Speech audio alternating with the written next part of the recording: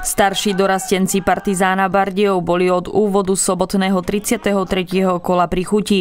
Mali strelecké príležitosti, no chýbal tomu gól. Mrzieť ich môže najmä nepremenený pokutový kop, nedôraz v zakončení i hrubá chyba, ktorá skončila otváracím gólom hostujúcich hráčov Humeného.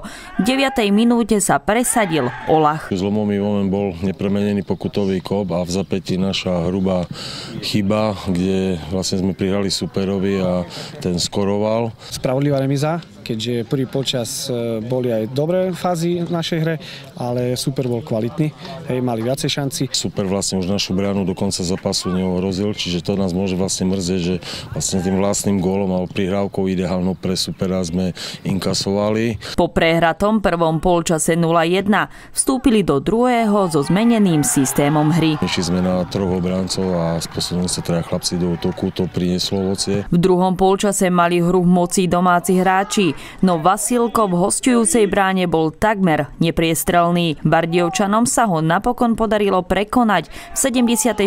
minúte po zásahu Hrica. Bránkár celú sezónu dokazuje, že je kľúčovým hráčom, lebo má stabilné výkony a aj dneska nás podržal.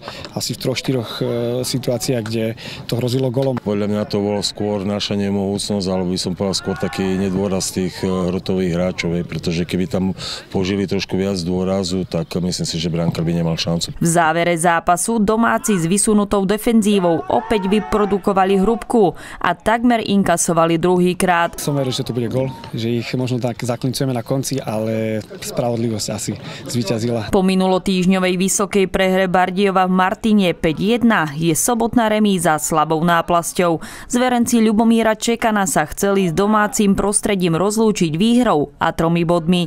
Uspokojiť sa musia s jedným po remíze 1-1.